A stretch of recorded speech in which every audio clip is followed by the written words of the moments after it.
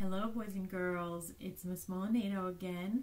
I have another story that I want to read you that's very near and dear to my heart. It is called Only One You.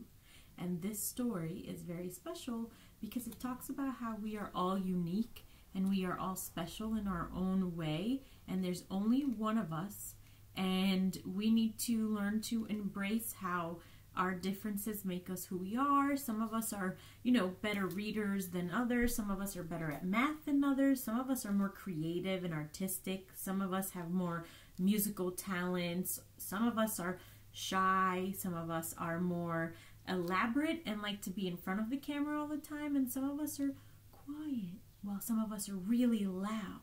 So I'm going to read you the story today called Only One You by Linda Kranz, and I know it's one of Mrs. Calabrese's favorite stories. And if you ever have a chance, when we go back to school, in our garden, you're going to see a lot of rocks that the children a few years ago with the art teacher um, were able to paint, and everybody added their own design to the little pebble that we added to the garden next to um, our school number three building. All right, here we go. Only One You by Linda Kranz.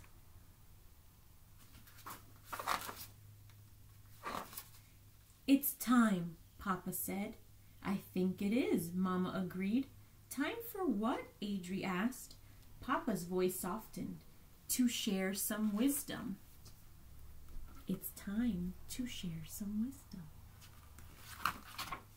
Always be on the lookout for a new friend.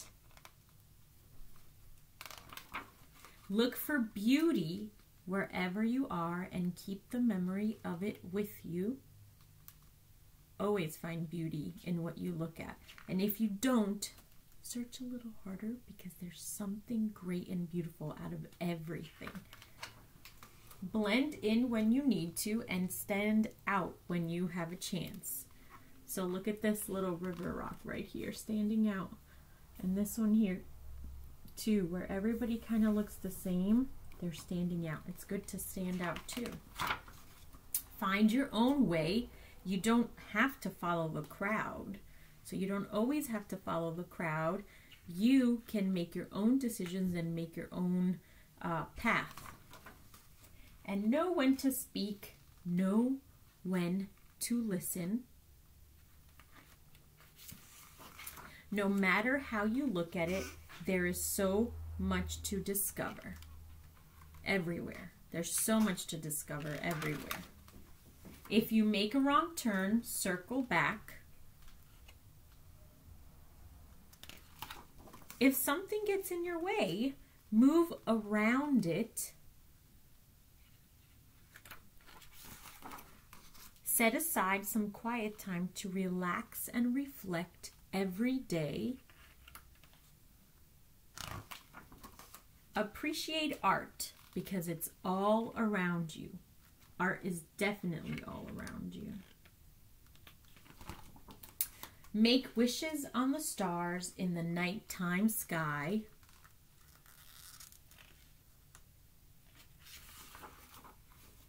Thank you for listening, Mama said.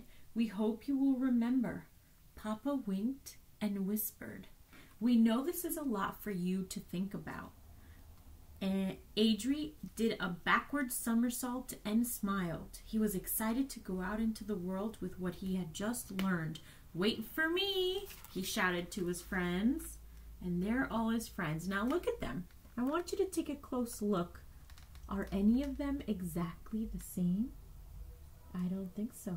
Because uh, everybody is different and unique in their own way, in a good way. Before he swam away, he turned back to his parents and said, I will remember. Mama kissed Adri on the top of his head. There's only one you in this great big world, she said. And there is only one you. And the only way there's more than one you is if you have an identical twin. And I think we have a lot of twins in our school, but I'm not sure there are any identical twins. That means you look exactly the same. Your genetics are exactly the same. There are twins, but even with twins, you're still different and you're you. You're your own unique person. Let's make it a better place. Let's make everywhere a better place. Now that you're home, I hope that you remember to be kind, to find balance, to dream big, to focus on being calm, to hold hands with someone you love, only if they're in your house, of course, because of social distancing rules. Savor the good times, find your passion. Remember that you are all amazing, and Miss Molinado is so proud of all of you, and you're all so amazing, and there's only one you. And each one of you has a story and place in my mind and in my heart because you're each unique in your own way. Okay? I hope you enjoyed my read aloud, Only One You. And if you would like, you can draw me a little pebble and design it. Or maybe I'll try to post um, on my website some copies of little pebbles that you can have your parents either print out or you can kind of trace and make your own little rock at home and send me a picture with it, okay? Remember, there's only one you.